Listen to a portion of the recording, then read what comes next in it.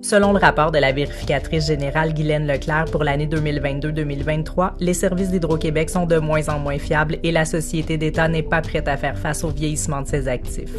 Hydro-Québec n'a pas réalisé une part importante des travaux prévus pour 2021. Il n'y a qu'environ le quart des travaux prévus pour cette année qui a été réalisé.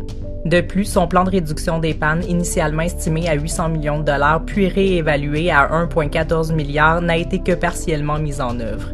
Il y a donc des possibilités que la réalisation de ce plan prenne une dizaine d'années de retard supplémentaire. On est en retard, oui, on est en retard. Les Québécois en font malgré eux l'expérience avec des pannes de plus en plus fréquentes aussitôt qu'il y a une tempête de neige, du verglas, lors de vents forts ou encore en raison de la végétation. Or, nous sommes au Québec et tous ces phénomènes naturels font partie intégrante de notre environnement de vie.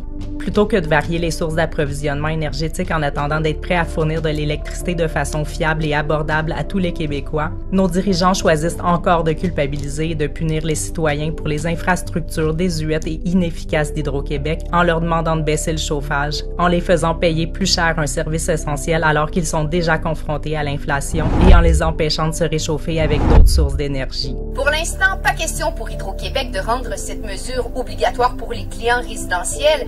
Nous devons nous rendre à l'évidence, même si nous sautons une douche et que nous faisons notre lavage à minuit, Hydro-Québec va manquer d'électricité d'ici moins de cinq ans.